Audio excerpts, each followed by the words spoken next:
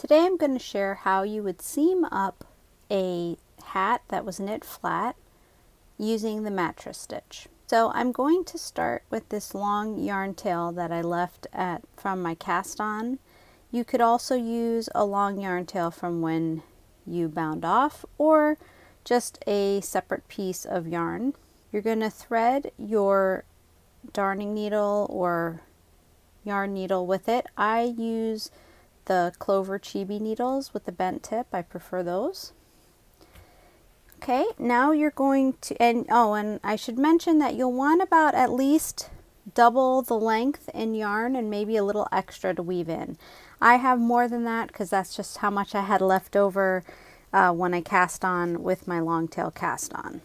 Okay, you're going to start with the right sides facing out, so the wrong sides together and you're going to take your needle and insert it on one side of the fabric and then on the other side.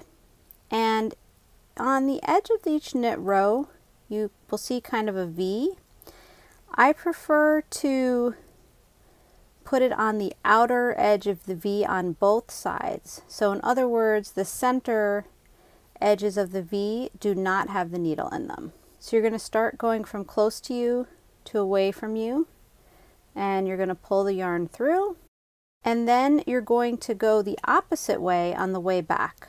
You're going to put the needle from the outside pointing towards you and pull through.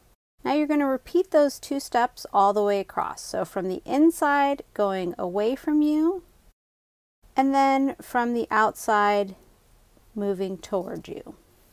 This creates a nearly invisible seam, uh, especially with a yarn like this that's variegated, or actually I should say it's a self-striping yarn, so it has a lot of different colors. It's definitely not going to be noticeable.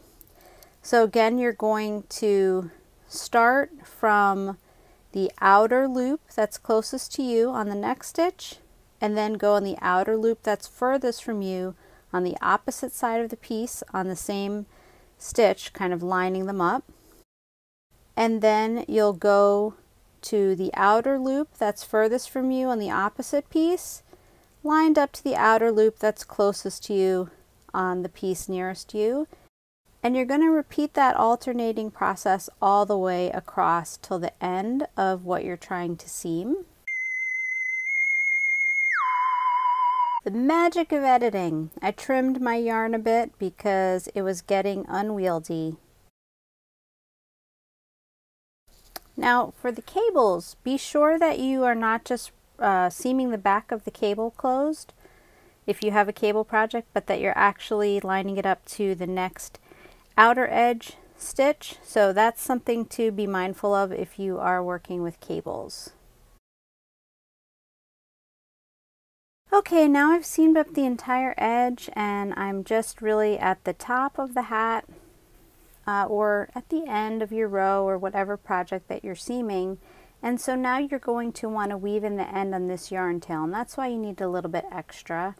So I'm just going to insert the needle on the inside of the hat and then I'm going to weave in ends on the inside and then trim off the yarn tail. And that's how you do a mattress stitch seam. And you can see that the seam is nearly invisible up the edge of the hat. So it's a great way to seam up a project if you don't want a very visible seam. I hope you enjoyed today's video. Be sure to follow, like, and subscribe on whatever platform you're watching this video on. Have a great day!